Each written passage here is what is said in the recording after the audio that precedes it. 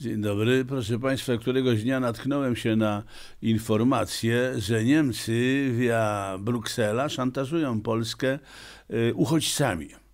Podobno, jak nie przyjmiemy transportu imigrantów z południa, odbiorą nam dotacje unijne. Ciekawa historia. Tak się złożyło, że to był akurat dzień 1 września. Odezwały się we mnie straszne wspomnienia i się pojawiła smętna refleksja, jakim prawem Niemcy dyktują suwerennemu państwu, e, co ma robić w konkretnej sytuacji. Mamy wszyscy świadomość, że Europa stoi przed poważnym, e, przed poważnym wyzwaniem, ale że należy coś, coś zrobić, rozwiązać jakoś problem, problem tych uciekinierów z Afryki i Azji, ale w traktacie lizbońskim nic na ten temat nie ma. Proszę Państwa. Yy, I każdy kraj ma prawo samodzielnie podejmować yy, decyzje yy, własne, prawda? Żaden dyktat nie wchodzi w rachubę, zwłaszcza dyktat ze strony Niemców. Wstępowaliśmy do Unii Europejskiej, nie do Unii Niemieckiej. Niemcy wobec Polski powinni być szczególnie ostrożni, szczególnie wrażliwi, bo właśnie 1 września 1939 roku zwalili się do nas, prawda, e, urządzać poprzednią wersję zjednoczonej Europy pod wodzą ich ukochanego Führera.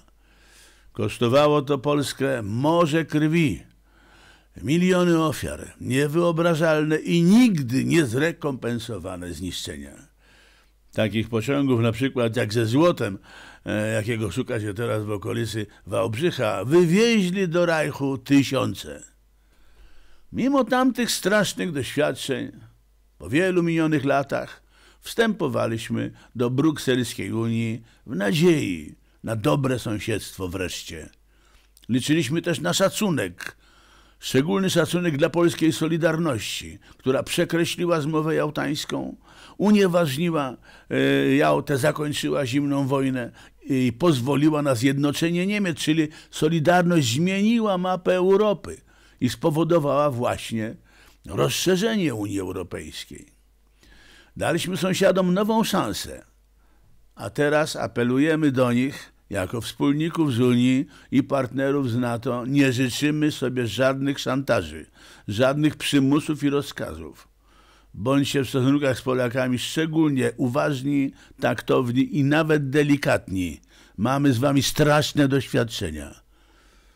Nie okradajcie nas przy pomocy waszych banków i waszych marketów, których żeście tutaj nawsadzali do Polski setki. Nie oszukujcie nas przy pomocy waszych mediów. Nie korumpujcie naszych polityków. Rzeczywiście niektórzy mają Polacy słabe charaktery. Nie róbcie o nas fałszywych filmów i nie oszukujcie świata, że was potworny wynalazek obozy śmierci były polskie. Jednym słowem, starajcie się zasłużyć na miano dobrych sąsiadów. Tego życzą wam Polacy w tragiczną rocznicę 1 września, w rocznicę niemieckiej hańby. Do widzenia.